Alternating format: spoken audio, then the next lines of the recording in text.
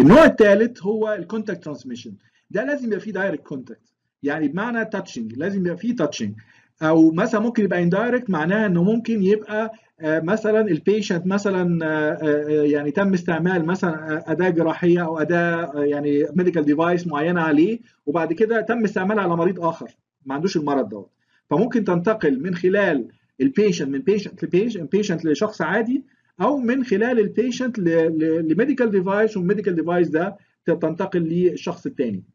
فطبعا فيها فيها يعني أمراض كثيرة ممكن إنها تنتقل بالشكل ده طبعا الأمراض كلها خطيرة الحقيقة. فهنا برضو ال protective measures إن إحنا نحط ال patients برضو يا إما single room يا إما cohort isolation يبقى برضو المرضى اللي ليهم نفس المرض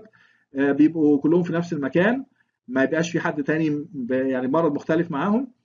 هنا بقى بنحتاج gloves and gowns يعني بنحتاج إن إحنا نلبس يعني أدوات أو لبس واقي بحيث إن إحنا يعني ما يبقاش في فرصة لل touching ما يبقاش في فرصة ل direct contact أو indirect contact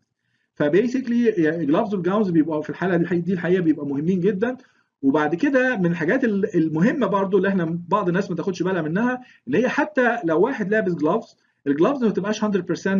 يعني secure فلازم بعد ما بنخلص لو في حد عمل مثلا شغل في حتة فيها مريض من الامراض الأمراض اللي هي بتنتقل بال contact يبقى لازم بعد ما يشيل ال gloves لازم يعمل disinfection لل hands يعني يجيب disinfectant ويعمل بيه disinfection لل hands عشان يتأكد 100% إن ما حصلش أي يعني contact أو حصلش اي ما كانش في أي leakage مثلا من خلال ال gloves أو كده تنقل المرض ليه. فده كده النوع الثالث اللي هو فيه ال contact transmission وهو الحقيقة نوع من أخطر أنواعه ولازم ناخد بالنا منه كويس جدا.